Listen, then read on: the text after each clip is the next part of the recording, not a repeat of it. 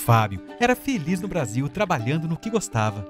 Mas cansado da vida das grandes capitais e preocupado com a insegurança e rumo do país, decide se mudar e começar uma vida nova em um novo lugar. Foram dois anos de pesquisas, economias e muito planejamento para poder se organizar e realizar o seu sonho.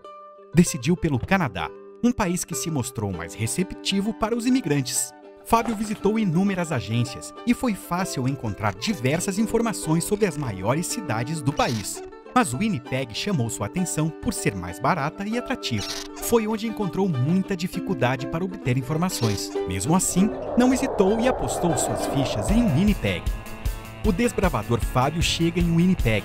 Em sua bagagem, a certeza que fez a escolha certa e a firmeza para buscar seus sonhos e objetivos. Foi exatamente nesse momento que surgiu a ideia.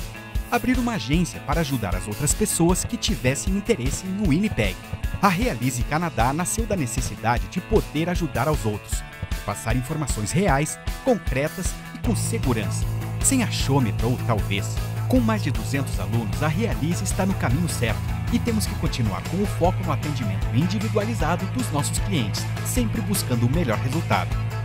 Depois de muito estudar o processo, a Realize se torna especialista em Canadá.